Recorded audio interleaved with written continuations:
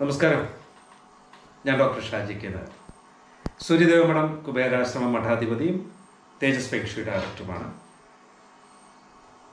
വാസ്തു സംബന്ധമായിട്ടോ ജ്യോതിഷ സംബന്ധമായിട്ടോ നിങ്ങൾക്ക് എന്തെങ്കിലും സംശയങ്ങളോ കാര്യങ്ങളോ ഉണ്ടെങ്കിൽ നിങ്ങളുടെ വീട്ടിൽ താമസിക്കുന്ന എല്ലാവരുടെ പേര് ഡേറ്റ് ഓഫ് ബർത്ത് വീടിന്റെ ഡയറക്ഷൻ അഡ്രസ്സ് ഇതൊക്കെ ഈ നമ്പറിലോട്ട് വാട്സാപ്പ് ചെയ്യുക. കേരളത്തിനകത്തും പുറത്തും വിദേശ രാജ്യങ്ങളിലൊക്കെ സഞ്ചരിക്കുന്ന ഒരു വ്യക്തിയാണ് ഞാൻ. നിങ്ങളുടെ വീട് വന്ന് നോക്കി പ്രശ്നപരിഹാരം ചെയ്തു തരാം. നിങ്ങളുടെ നാളെയിലേക്ക് നമുക്ക് കിടക്കാം. രണ്ടായിരത്തി ഇരുപത്തിരണ്ട് ജൂലൈ മാസം ഇരുപത്തി ആറാം തീയതി ആയിരത്തി ഒരുന്നൂറ്റി തൊണ്ണൂറ്റേഴ് കർക്കിടക മാസം പത്താം തീയതി ചൊവ്വാഴ്ചയാണ്.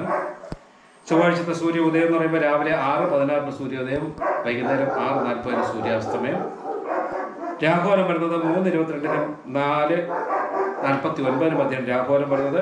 അഭിജിത് മുഹൂർത്തം വരുന്നത് പന്ത്രണ്ട് മൂന്നിനും പന്ത്രണ്ട് ഇരുപത്തി ആറിനും മധ്യമാണ് അഭിജിത്ത് മുഹൂർത്തം വരുന്നത്. മുഹൂർത്തം വരുന്നത് പന്ത്രണ്ട് മുപ്പതിനും പന്ത്രണ്ട് അമ്പത്തിരണ്ടിനും മധ്യമാണ് മുഹൂർത്തം വരുന്നത്. അതേപോലെ തന്നെ ഗുളികൻ ഉദയം വരുന്നത് ആറ് നാൽപ്പതിനും എട്ട് ഏഴ് മധ്യയാണ് ഗുളികൻ ഉദയം വരുന്നത്. തിരുവാതിര നക്ഷത്രമാണ്. എല്ലാ ശുഭകർമ്മങ്ങൾക്കും ഉത്തമമായിട്ടുള്ള ഒരു ദിവസമാണ് വരുന്ന ചൊവ്വാഴ്ച. വാസ്തുകർമ്മങ്ങൾ ചെയ്യുവാനോ അല്ലെങ്കിൽ പിതൃദോഷ പരിഹാരങ്ങൾ ചെയ്യുവാനോ അതുമല്ലെങ്കിൽ വിവാദം അതുമായിട്ട് ബന്ധപ്പെട്ട കാര്യങ്ങൾക്കെല്ലാം നടത്തുവാനൊക്കെ പറ്റിയിട്ടുള്ള ഏറ്റവും ഉത്തമമായിട്ടുള്ളൊരു ദിവസമാണ് വരുന്ന ചൊവ്വാഴ്ചത്തെ ദിവസം. അതേപോലെ തന്നെ നാലമ്പല ദർശനം നടത്തുവാനൊക്കെ പറ്റി. കേരളത്തിനകത്ത് നാലമ്പല ദർശനമൊക്കെ ഒത്തിരി സ്ഥലങ്ങളുണ്ട് അപ്പോൾ ഈ ഇത് കർക്കിടക മാസം രാമായണ മാസമായതുകൊണ്ട് രാമായണം ഒരു മൊത്തം ഒരുമിച്ചിരുന്ന് വായിക്കുന്നതിന് തുല്യമായിട്ടുള്ള ഫലമാണ് ഈ നാലമ്പല ദർശനം നടത്തുമ്പോൾ നമുക്ക് കിട്ടുന്നത്. അപ്പോൾ നാലമ്പല ദർശനം നടത്താൻ പറ്റിയൊരു ദിവസം കൂടിയാണ് ഈ വരുന്ന ചൊവ്വാഴ്ച.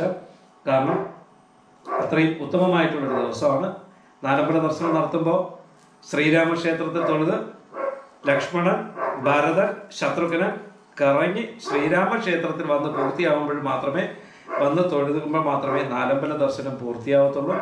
അപ്പം അങ്ങനെ നാലമ്പല ദർശനം നടത്തുവാൻ പറ്റിയൊരു ഒരു ദിവസം കൂടിയാണ് ഈ ചൊവ്വാഴ്ച.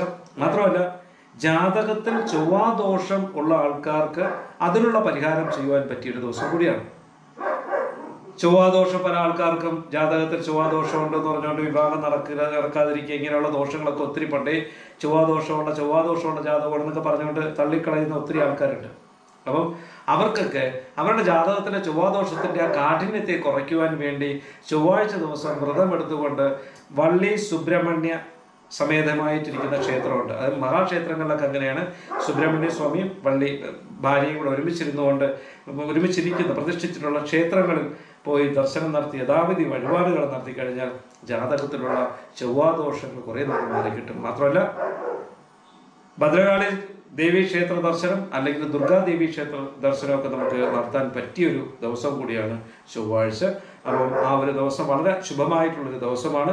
മൃത്യുദോഷങ്ങൾ എന്തെങ്കിലും ഉണ്ടോ എന്ന് നോക്കാം. പിണ്ടനൂർ ദോഷം അസുഭജ ദോഷം കരുനാൾ ദോഷം ബലിദർശ ദോഷം അകനാൾ ദോഷം എന്നിവയിൽ പിണ്ടനൂർ ദോഷമുണ്ട്. അപ്പം ശ്രദ്ധിക്കുക മരണാനന്തര ചടങ്ങുകൾ നടക്കുന്ന സമയം മരണസമയത്ത് എന്തെങ്കിലും ദോഷമുണ്ടോ എന്ന് നോക്കിയിട്ട് യഥാവിധി പരിഹാരങ്ങൾ ചെയ്തില്ലെങ്കിൽ പിൽക്കാലത്ത് അല്ലെങ്കിൽ പിറക്കും തലമുറകൾക്കാണ് അത് ബുദ്ധിമുട്ടുണ്ടാവുക.